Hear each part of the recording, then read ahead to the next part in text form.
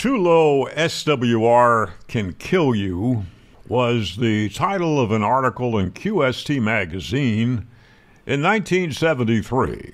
It was written by antenna engineer Walt Maxwell, W2DU.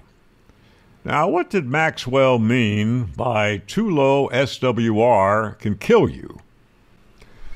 Well, he starts off like this Judging by what we hear on the air, Nearly everyone is looking for an SWR of 1 to 1. Question why, and the answer may be I'm not getting out on this frequency because my SWR is 2.5 to 1. And then Maxwell goes on with other mistaken reasons for chasing an SWR of 1, which he compares to the days of when humans thought the universe revolved around the earth. But how can that kill you? Well, says Maxwell, when we discover how little we gain by achieving a low SWR on the average feed line, we will avoid unnecessary and time consuming antenna modifications. Such modifications often involve hazardous climbing and precarious operations on a roof or tower which can result in injuries or even death. Let's kill SWR misconceptions, not ham operators.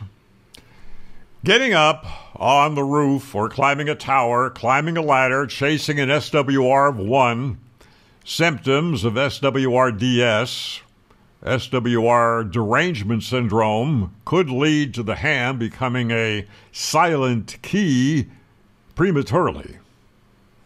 If you are suffering from SWRDS, I can cure you in about 10 seconds. And it doesn't hurt. Just listen carefully. On the 10 meter band, where SWR losses are highest, if you have a 5 to 1 SWR on 100 feet of LMR 400 coax, the additional loss caused by that SWR is less than 1 dB. On the lower bands, the losses are even less. There, you're cured. RF engineer Joeri Van Dooren, ON6URE, on his website, rf.guru, says chasing a one to one SWR as a fetish is counterproductive Trying to get exactly one to one at all times leads people to make design compromises over using matching networks or accept high loss solutions, tuner losses, long lossy coax, etc., just for the meter reading. Joeri argues that moderate SWR, 2 to 1 for example, is often perfectly acceptable especially when feed line losses are low and the antenna is efficient. Antenna engineer Tom Rauch, W8JI. Low SWR isn't always the best thing if it masks other problems. Because voltage, common mode, balance, and reactive stresses are often invisible to a simple SWR meter, having a nice low SWR can give a false sense of security. W8JI's stance is that engineers should dig deeper than just watching SWR meters. How many times have you heard a guy on sideband with terribly distorted audio?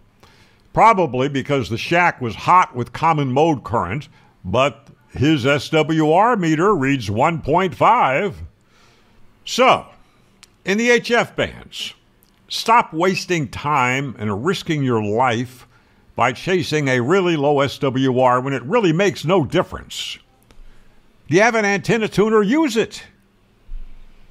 And I am happy to report that other ham radio YouTubers are now using that expression SWRDS, showing increasing awareness of this disease and spreading the word. Consider subscribing to this channel, ring the bell for updates in 73.